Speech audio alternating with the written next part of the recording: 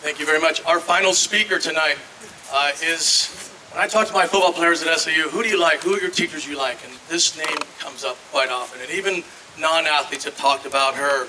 But I guess if there's something of a closest form of a rock star in the faculty at Southern Oregon University, it's Precious Yamaguchi, Associate Professor in Communications.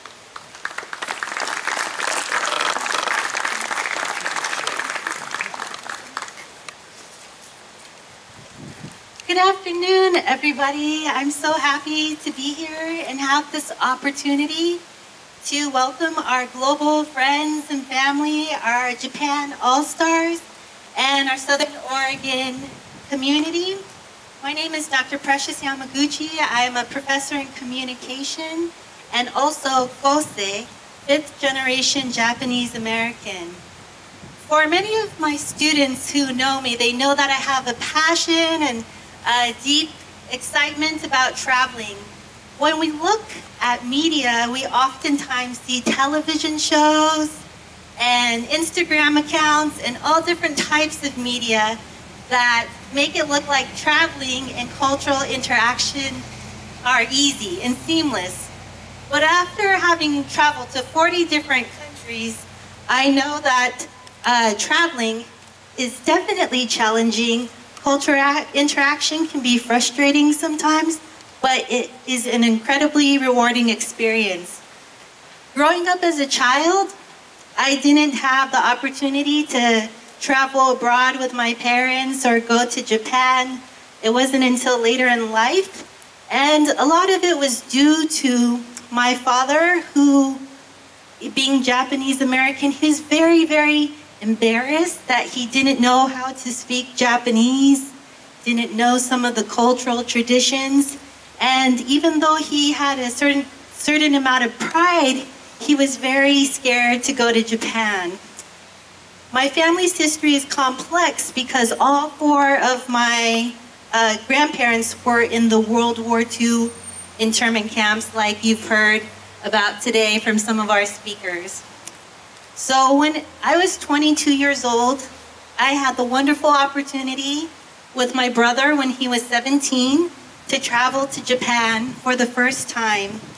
And I was very excited. It was about 2003 and the internet was available, but not like how it is today with a lot of detail and reviews and all kinds of information. And we were traveling on a $1,000 budget, which is a small budget you're in the US or in Japan. When we arrived in Japan, we were going to be there for almost two weeks, and we made a lot of cultural mistakes. There was no, G we didn't have GPS or iPhones or different type of navigational technology. So when we were in Tokyo, we were very lost all of the time. And uh, a lot of times we were pulling out our paper map, trying to just find our hotel. And one day we were just walking around Tokyo looking for our hotel, looking for our hotel. And finally we asked the street cleaner to please help us, we can't get to our hotel. And he, not knowing any English, and us not knowing any, any Japanese, told us to follow him. We followed him and he walked a block and another block and another block and he walked my brother and I 10 blocks to our hotel in weather just like this today. And even though uh, we tried to thank him and give him a tip. He just continued to walk back to where he had come from at his position of cleaning. And it was small things like this that I will remember forever. Another mistake we made is when we went to Nagano, Japan, in the mountains. My brother and I, we took uh, two trains, a bus, and a taxi to get to our hotel in Nagano, in the mountains. When we finally arrived at our hotel after several hours of traveling, we noticed at our hotel there was no families or no uh, backpackers or no people just traveling by themselves. And we realized that we were at a love, a love hotel, my brother and I. And um, we had to check in and we tried to make some phone calls to try and book other hotels, but nothing was available. When my brother and I look back on this uh, situation in Japan, we both agree that it was actually one of the best things that happened to us because we were uh, so awkwardly at the Love Hotel as brother and sister, so we tried to make sure that we did as many things as we could outside of the hotel. We went hiking, we saw all kinds of wildlife, and we also stumbled upon some of the smallest, tiniest little mountain villages outside of Nagano and had some of the best food and met some of the nicest people even though we didn't know the language. As you travel during your trip here in Oregon, like my brother and I, I hope that you meet many people in Ashland and in Oregon who are patient, kind, and understanding as we did when we were in Japan.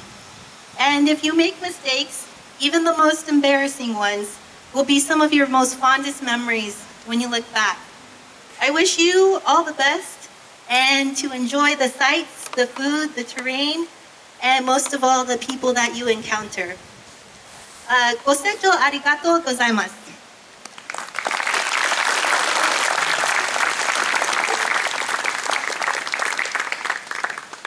Okay, that concludes our uh, 2019 Pacific Rim Bowl Peace Ceremony. Let me leave you with a couple of thoughts real quick here. Uh, Coach Bo talked about Dave Kitchell. Dave Kitchell will be inducted in the Pacific Rim Bowl Hall of Fame this year. Uh, he'll be one of the inductees, and uh, his wife and his kids will be at the game on Friday, so that's a very special day, and obviously he's left us with a lot of memories. As I look back on this event and the times that I've been a part of this, um, just this last weekend, talking about the 50th anniversary of the Man on the Moon, I remember watching the documentaries this weekend and I saw the, the astronauts were looking back from the moon at the Earth. And they said they were just so stunned looking back that that's where they came from, the small blue dot in space. And it almost, they almost swelled up in tears because at that time in the 1960s, it was not a very friendly world we were fighting the Vietnam War. There was all kinds of unrest in our own country, and you know they were they were reflecting that we were not taking care of our Earth. Just looking at it from that perspective, it's hard to see that when we're in our own little communities and we have our little things we're trying to do. But when you look at that perspective and how small that world is, okay, we are all responsible for going forward. Okay, it starts with you know not not nuking people. It starts with you know taking care of the environment. These are things as young people and programs like this are hopefully helping you learn, teach you so that you go on and make this a better place. You're all part of something bigger than yourselves. I appreciate you. Have fun this week. Have a great weekend.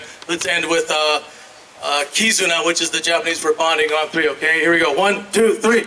Oh, let's do that again. One, two, three. All right, good. Thank you very much.